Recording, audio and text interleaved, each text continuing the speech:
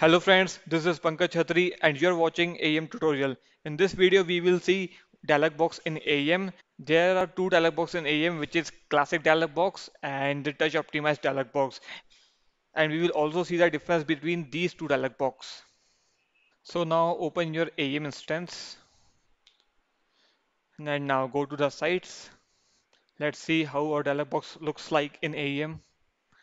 Now I'm opening this demo site. Go to the English page, open this page.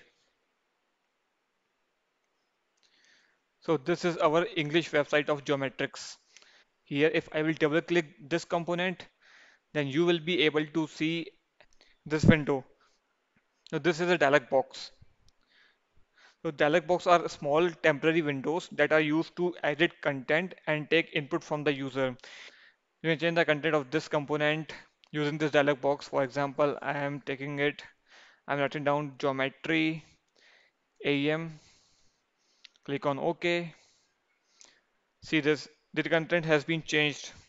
So using dialog box, you can easily edit the content of your website. And uh, box. So this was the classic dialog box. Its layout is white in color. And uh, let's open this component.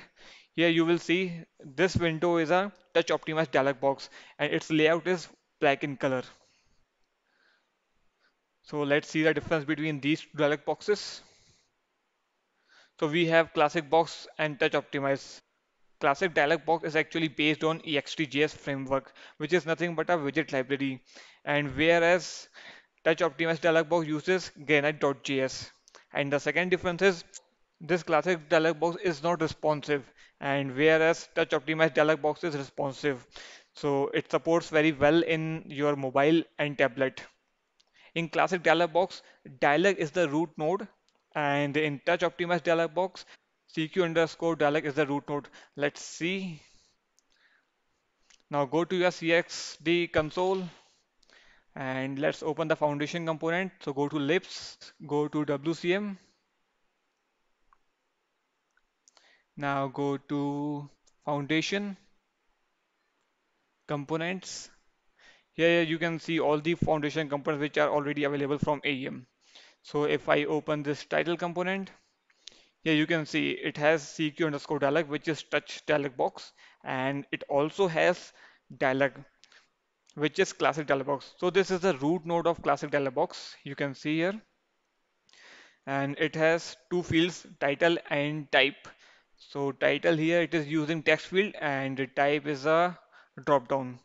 And if I go to this touch your dialog box, here the root node is CQ underscore dialog, and it is using the same title and type. Type is using text field and type is using drop down. And the four differentiate for input field, X type property is used in classic dialog box, whereas for input field, resource type property is used in touch optimized dialog box. Let's see in CRXDE, if I go to dialog and if I go to this field, you will see here, here it is using type property where it has defined that it is using text field, which is our input field. And in the type node, it is using X type as a selection, which is drop down. Now coming to the touch dialog box. In title node, you can see it's, it is using sling underscore resource type property to show the text field. And uh, in the type also, you can see it's uh, sling colon resource type property. And this is using select for drop down. If you want to find out the list of available input fields in in classic dialog box, then you can go to the widget API of AEM, type AEM widget API. Now open this website, go to CQ, go to EXT, go to the form. Here you will see the list of fields which are available for classic dialog box. Here you can see you have combo box, checkbox, you have radio group, radio, text area, text fields. So you can find out the list from here for classic dialog box.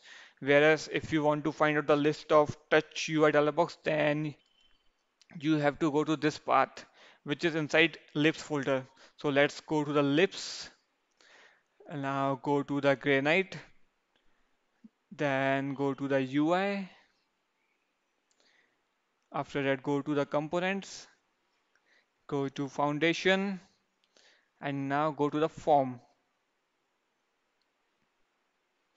Here you can see the here you can see the list of available fields for touch UI dialog box.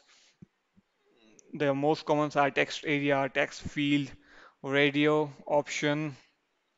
Here you can also see the select for drop down, color picker, checkbox. These are all available.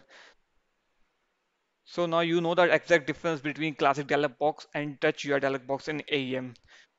So in my next video, we will see how you can create a title component and we will also create a dialog box for the same component. So thank you friends. If you enjoyed this video, subscribe my channel, like this video and share it with your friends. Thanks again for watching.